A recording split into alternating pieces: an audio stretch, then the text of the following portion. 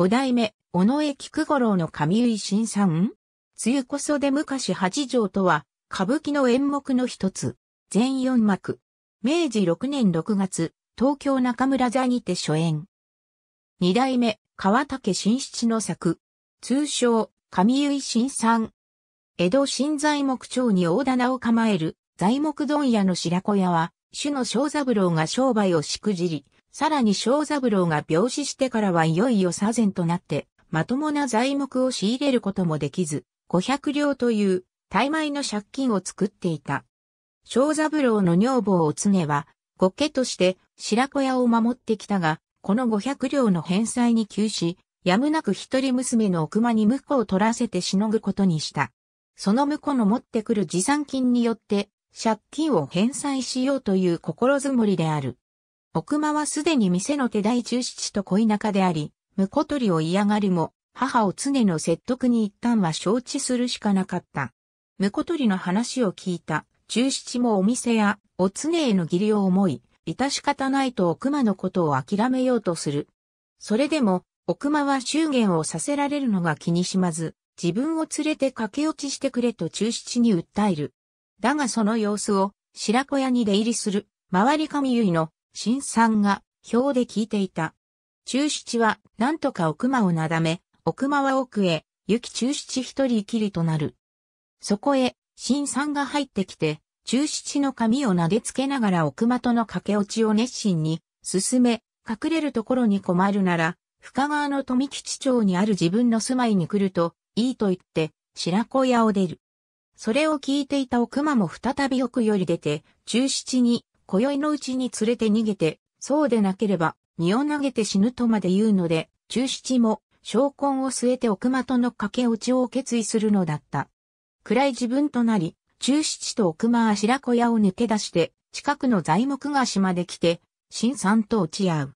新さんは籠を用意しており、奥間をそれに乗せると、新さんの住まいに向い、新さんと中七もその場を去る。その中七を白子屋の女中を聞くがすれ違いざまに見るが、奥間と中七が姿を消したという知らせを聞き、そんならもしやと思うところへ5月の雨が降り出した。奥間を乗せた籠は永代橋を通り過ぎ、その後を遅れて、新三と中七が総合山で雨を避けながら道を行く。しかし中七が履物の鼻を切らしたのを潮に新さんはそれまでの態度を変え、一人、道を急ごうとする。花をすげるから待ってくれという中七に、新さんは元から奥間を自分のものとするために連れ出したのだと悪態をつく。騙されたと知った中七は、新さんに取り付くが、傘で散々に撃たれ、挙句は、下駄で殴られると、額より血を出して倒れる。それを、新さんは、ざまあみやがれとせせら笑いながら去った。一人残された中七は後を追おうとするも、新三の住まいが富吉町のどこかは聞いていなかった。中七は自分のしたことを食い、奥間やお常への申し訳に永代橋から身を投げようとする。それを止めたのは、白子屋にも知られた乗り物町の胸郭や田五郎源七であった。次の日のこと。お菊のおじでこれも白子屋に出入りする車力の全八は、お常に新さんから奥間を取り返すよう言いつかったが、もともと人の良い前八は、新さんのようなチンピラとやり合う度胸がない。そこで乗り物町の親文言七を頼ろうとその家を訪ね、源の七に事情を話し、奥間を取り返してくれるよう頼む。源の七もそのあらましは聞いていたものの、新さんのような小物を相手にして、もしうまくいかなかったら、保険に関わる、と気乗りがしなかった。そもそも新さんは、上総宿で入れ墨の入った前科者という小悪党である。しかし話を聞いていた源の七の女房をお腹も口添えするので、源の七もやっと腰を上げ、全八と共に新三の元へと向かうのだった。新三の住む富吉町の長屋では、新三の子分の勝ち奴が留守をしており、連れてこられた奥間は、新三に散々慰み者にされた挙句、戸棚に押し込められている。新さんが、湯屋より帰り、気合わせたボテ振りの魚屋から初月を高い値で買う。そこへ、全八を連れて源の七が訪れた。新さんは源の七たちを内に通す。源の七が奥間の話をするが、新さんは奥間とは惚れ合った仲だから、ここに連れてきたと返すのを拒む。そこで源の七は、どうせ金ことごとくになるだろうと思い用意していた重量を出し、これで収めて奥間を返すように言う。すると、それまで下手に出ていた新さんは顔色を変え、重量を源の七の顔に叩きつけ、散々に悪態をついた。これには源の七も我慢ならず、刺していた刀を抜こうとするが、全八が必死にすがって止める。致し方なく、源の七は腹に据えかねたもののそのまま新三の内を全八と共に引き上げるのだった。その時、この長屋の家主の女房を角が源の七と全八に声をかけてきたが、源の七は全八を残し去る。全八は家主の長兵衛のところに連れてこられ、長兵衛は自分が新さんに掛け合ってやるというので、全八は長兵衛を頼むことにした。さらに、全八が白子屋から預かっていた三十両を出すと、長兵衛はそれを持って新さんのところへ向かう。新さんと勝奴はカツオを魚に酒を飲んでいる。そこへ、長兵衛が来る。長兵衛は、新さんたちと一緒に飲みながら奥間のことを持ち出し、奥間を返すのに30両で料金しろという。果たして新さんは30両と聞いてこうねたが、今度は長兵衛が、それまでとは様子を変え、入れ墨の入った前科者で角沸かしをするような棚子は、置いておけないから出て行け。それが嫌なら30両で収めろと、新さんに迫る。その剣幕に、刺し物、新さんも我を折り、しぶしぶながら奥間を返すことにした。戸棚に押し込めていた奥間を引き出し、長兵衛に渡すと、長兵衛はそれを全八に渡し、奥間は籠に乗せられ、全八と共に白子屋へ帰った。奥間を見送った長兵衛に、新さんは30両をねだる。すると長兵衛は15両だけを渡した。これを不審に思う、新さん。しかし長兵衛は、カツオは半分もらったとばかり繰り返す。つまりは、骨折り賃に自分が半分もらうのだということである。新さんは驚いてお返し申しますと15両を投げ返したが、それを見た長兵衛が、それならてめえの悪事を訴え出るとまた言い出すので、新さんは15両を受け取るより他なかった。そこへ、お角が来て、新さんが棚賃を貯めていたというと、さらに棚賃の分2両も差し引かれた。ところがその時、長兵衛の家に空き巣が入り、タンスの中身をそっくり持っていったとの知らせ。これに、お角は目を回し、長兵衛はびっくりして、自分の家へとかけてゆく。新さんと勝奴はこれを見て、やっと留飲を下げるのであった。奥間の戻った白子屋に500両の持参金を持って、婿が入った。大棚桑名屋の元番頭だった又四郎である。しかしせっかく婿入りして奥間と祝言を挙げたはずの又四郎は奥間に真珠から遠ざけられ、使用人たちも影で又四郎の顔形を化け物と言って馬鹿にするので、又四郎は腹を立て、ついに白子屋から出て行くと言い出す。又四郎は今はお店にいない中七のことも耳にしていた。そこへ仲人役の加賀谷東兵衛や、おつねが来て、なだめるのでどうにか収まり、今夜ついに奥間と新庄共にできると聞いてまた四郎は、喜ぶ。一方奥間は、中七のことが忘れられず、中七へ婿取りをしたことの申し訳に自害しようとしていた。書き置きをして刀を抜き、自らの喉元へ向ける。それをまた四郎が見つけて奥間を止めようとしたが、刀を取り上げようとする又四郎と争う弾みに、奥間は誤って、又四郎の脇腹を刀で突いてしまう。手を負わされた又四郎は、さては、中七という者がいるから邪魔な俺を殺すのだなと怒り、刀を取って奥間を殺そうとする。お菊が飛び出し、又四郎を止めるが、なおも怒りに駆られ奥間を殺そうとする又四郎、思い余ったお菊は、奥間を守るため、又四郎の手から刀をもぎ取り、数度にわたって、又四郎に切りつけ、とどその脇腹に刀を突っ込むと又四郎は、苦しみながらこと切れた。すると間を置かずに今度はお菊がその刀で、自分の喉を突く。この騒ぎに、おつねや全八も出てきて、この場のありさまを見て仰天する。お菊は、自分が、奥間の身代わりとなって死ぬつもりだと述べ、皆が悲しむ中でこと切れるのだった。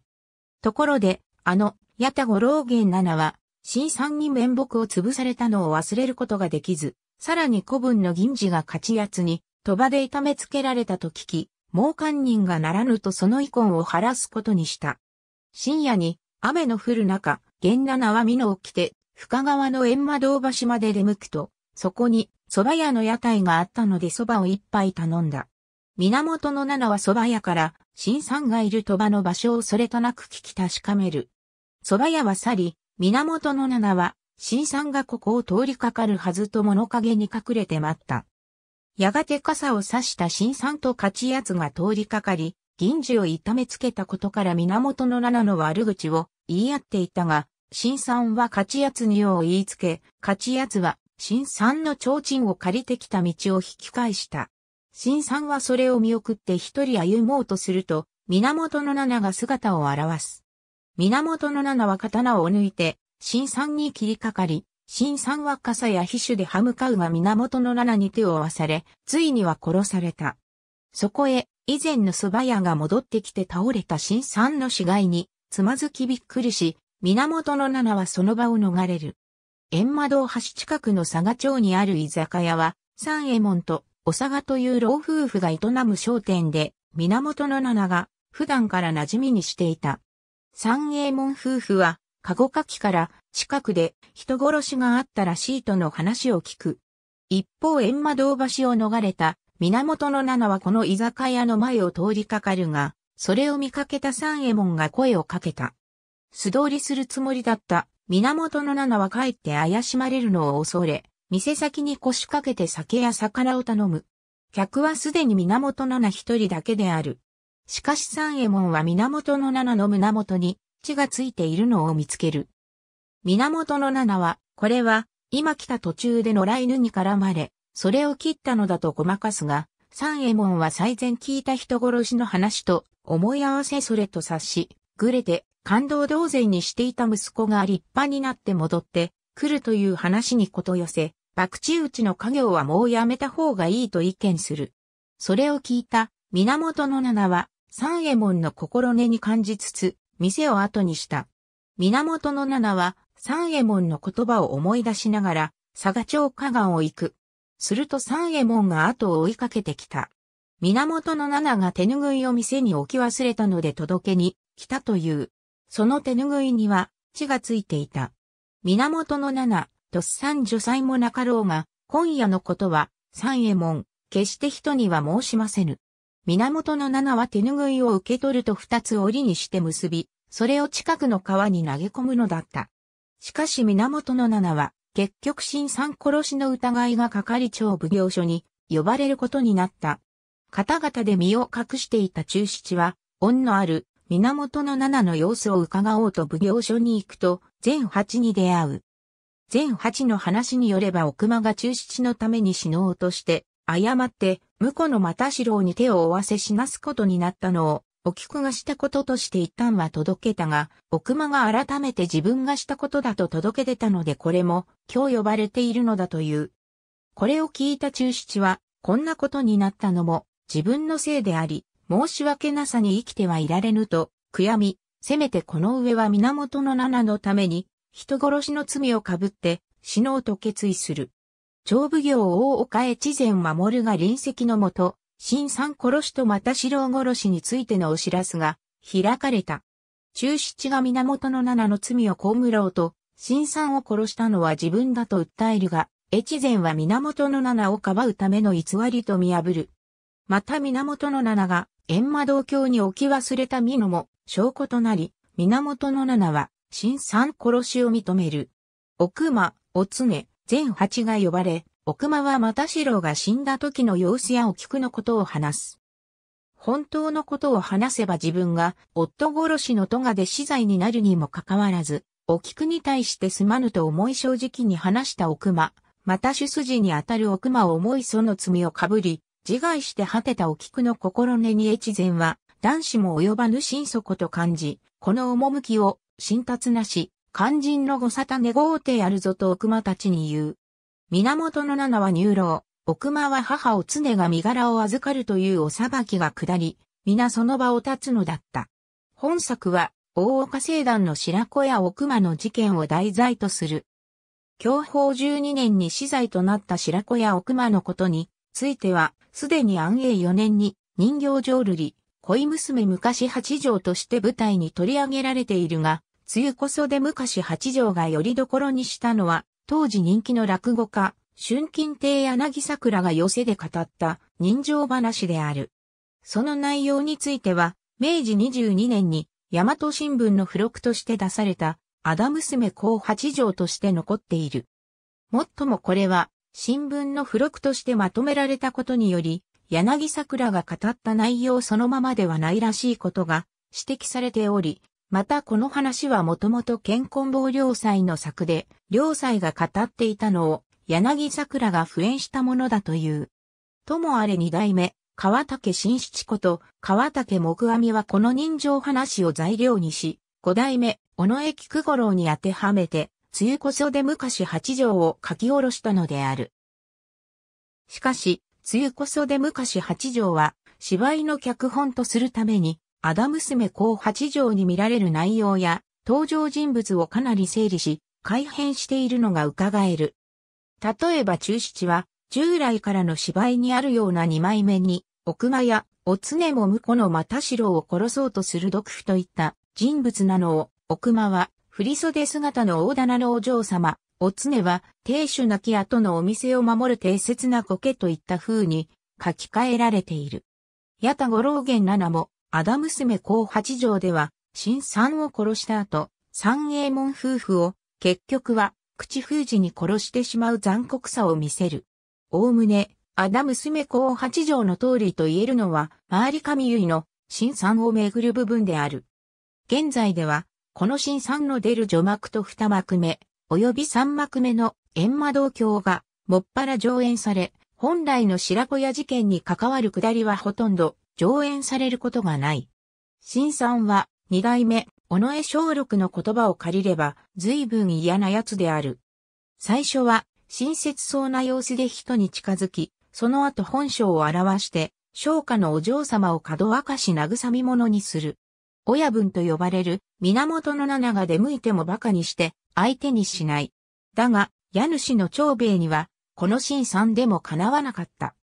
長兵衛が、新さんのところに行き、はじめはおだてて、機嫌を取るように見せるが、新さんがごね出すと、むむきかれざあよしにしろ、俺が言うことを聞かなけりゃ、その分じゃ起きやしねえ。この趣を言い立てて召失礼訴えをするからそう思え、とまくし立てる。新さんは、モッソー藩も食ってきた上総宿の入れ墨新さんだ。つまり自分は牢にも入った前科者だと凄んでみせるが、長兵衛に入れ墨というものを、てめえは、なんと心得てる、人交わりのできねえ印だとやり込められ、結局新さんは長兵衛から金を受け取り、奥間を引き渡すことになる。若い、怖いもの知らずのゴロツキ新さんが、年寄りの長兵衛にやり込められるというのが、この芝居の一番の見どころと言える。しかし長兵衛も正義の味方というわけではない。